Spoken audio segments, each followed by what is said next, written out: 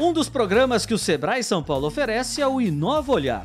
Dentro dele está o Alimentação Fora do Lar. O Inova Olhar é um programa que foi criado pelo Sebrae de visitas técnicas a estabelecimentos que, que a gente considera como referência nesse segmento de alimentação fora do lar.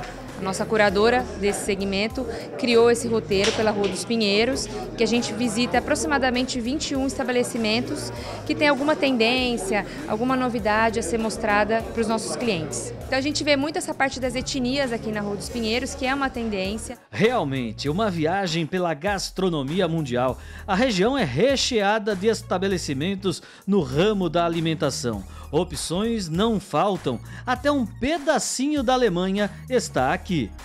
O Imbis é um tipo de lugar que é muito presente na Alemanha, na Suíça, na Áustria, que é um lugar de comida rápida, um lugar de comida simples, que você uma salsicha, uma sopa, uma salada, um sanduíche, um pretzel, que você come ou no local, ou em geral de pé, ou sai pela rua para o metrô comendo. É uma experiência muito do cotidiano na Alemanha, eu que moro lá e aqui há 30 anos, para mim era uma coisa muito, é uma coisa muito presente e aqui não tinha. E eu achava estranho não ter, sabe? Então às vezes você pensa, eu podia ficar reclamando de não ter, eu podia fazer alguma coisa a respeito. E aí a gente resolveu fazer alguma coisa a respeito, criando o primeiro IMBIS do Brasil, que é esse aqui, e está super legal, está super funcionando. Assim como Marcelo, eles também são proprietários de comércio de alimentação. Clientes do Sebrae, eles estão em busca de aprimorar e melhorar, claro, seus serviços. A ideia é sempre se atualizar, né? Ver uma, ter uma nova visão do, do, do que a gente pode é, colocar no nosso negócio, é, progredir, né? A despertar. A gente às vezes acha que não é, não precisa, que isso não vai dar certo.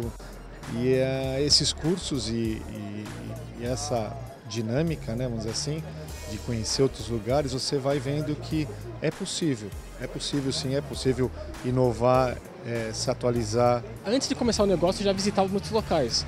Só que com o Novo Olhar, eu consigo visitar os locais e também conversar com, as, com os próprios proprietários, o pessoal que trabalha como gerente, tem uma visão muito mais detalhada de outros negócios. Dá para ter um comparativo legal de o que está dando certo, o que está certo de fato e o que pode melhorar. E aí dá para ter a visão de o que pode melhorar e já, já encontrar soluções para melhorar isso aí está sendo muito rico poder ver como outras pessoas que vêm experiências fora do Brasil, como que elas importam isso para a gente aqui, né? E como que, como que eles conseguiram ter esse negócio aí, a maioria está em torno de seis meses a um ano. Por mais que eles não tenham ainda atingindo ali o, o ponto, né, realmente o ponto de equilíbrio e tal, mas eles conseguiram já ter uma clientela, conseguem passar todas as informações aí para a gente de como que o negócio deles cresceu, como que está se desenvolvendo e para a gente é um aprendizado, né? É um dia de experiência e a gente pede para eles anotarem tudo que eles tiverem de ideias, é, tudo que eles virem no, no nosso roteiro de, de, coisas boas e pontos de melhoria. E a gente conversa sobre isso no final, no último estabelecimento. A gente faz um fechamento com isso, trazendo essas ideias para eles, instigando eles a, a pensar o que, que eles vão colocar em prática nos estabelecimentos deles ou não. Para quem quiser conhecer o Inova Olhar é fácil.